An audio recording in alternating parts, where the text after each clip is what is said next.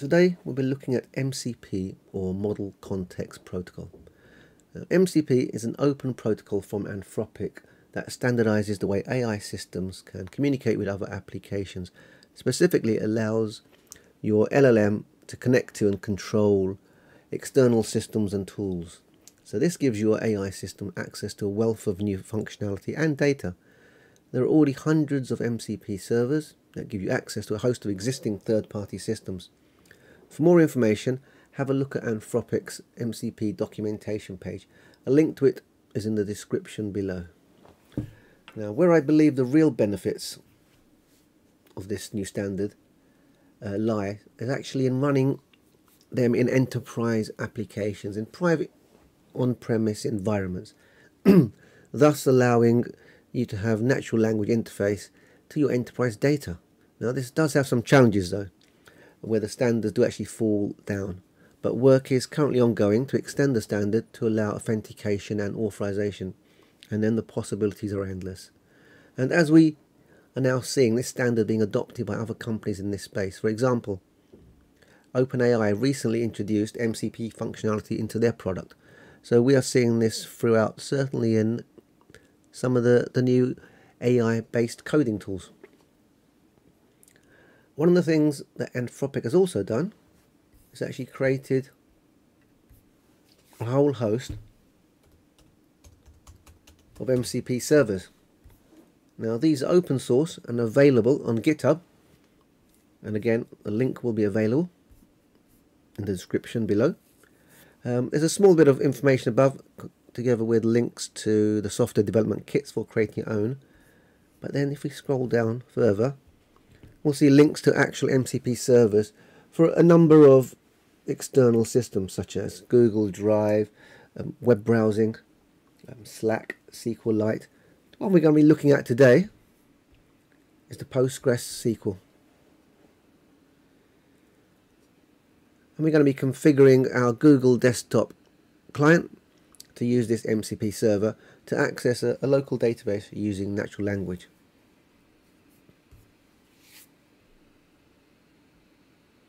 I'm going to be running the, the MCP server in a Docker container just because I prefer to do that so I have greater control and there's not a, a proliferation of files on my desktop. Um, have a quick look down here. We can see the configuration that we need to add and as stated earlier on I'll be using Docker so I'm just going to copy and paste this configuration into the config file for Claude Desktop the only thing that will be changing is the connection string to my local, local database. you can do that. You can also also run these as node applications. And again, the config is slightly different. But again, you can copy and paste that and just change the connection string to get where you wanted. Now we're going to look at this in a lot more detail. Now, if we flip over to Claude Desktop, so let's just start a new chat there. We can go up to settings, go to developer, and this will actually show the currently configured MCP servers. Here I have Postgres. Clicking that will show a little bit of additional information, such as the command that it runs, as well as the connection string. If I click on edit config, it will take us to the configuration file where all these are actually set up. So we can have a, a look at that file. So here we are, as mentioned, as a copy and paste from the GitHub page for the Postgres SQL server. And the only thing that has changed is the connection string. You can actually define multiple MCP servers within this configuration. They will all appear under this high-level MCP servers tag. But for the time being, we're going to concentrate on the Postgres. So if we go back again to the desktop, so let's ask it to describe the database you have access to. Now one of the things you will notice the first time you run this, it's determined it needs to use an MCP server. It will actually ask you for permission to run that and that's for security reasons. So I'm going to allow this for this chat. One of the things we notice, well, it tries to do something which is SQLite specific. And we know it's not SQLite. It's determined that. It's now moved on and using Postgres specific functionality. This will take a little bit of time because as it is going through and querying the databases and all the tables in there. So I will actually cut the rest of this out and take you to the results as they appear. And here we have the output appearing. So database overview. And it's broken this down into housing data. And I know this database very well. And this is the information that is contained in it. Crime data, census data, company, geographic boundary data. There's quite a lot of geographic data within this database. And it's categorized each one of those different types of data in there. It's also given us some data characteristics. So it's primarily UK focused, which it is. Date ranges and housing market analysis, crime pattern. So it's got quite a bit of information. So let's actually, if we flip across to another application. So this is PG Admin, which is a GUI front end. This PG Admin. And we come down here. It's connected to my database. I've got multiple schemas here. We click on census data we can go down here and we can see some of the tables it's been referring to. The census data there, it's geographic information there. And let's have a look at the public schema. Again, more geographic information there. Again, I've got a, a single file or a single database table with all the census data there. I've got company information. This is more regional information, deaths related. We've got a whole host of information here and most of that has been categorized in the description. So it seems to have done quite a good job.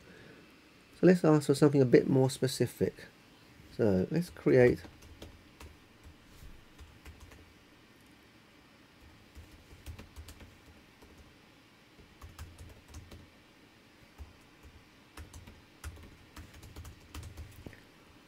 So Gravesham here is a geographic area which is a, a Westminster constituency. So I've asked it to create an histogram.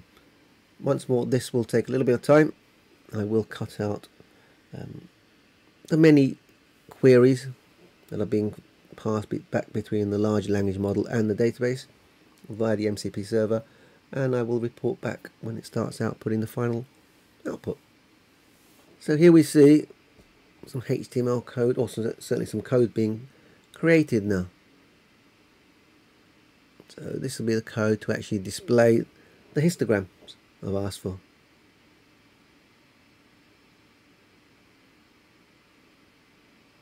And once more I will cut out part of this creation just to speed up the video. In fact, I haven't needed to. It's here is the output. Total number of deaths.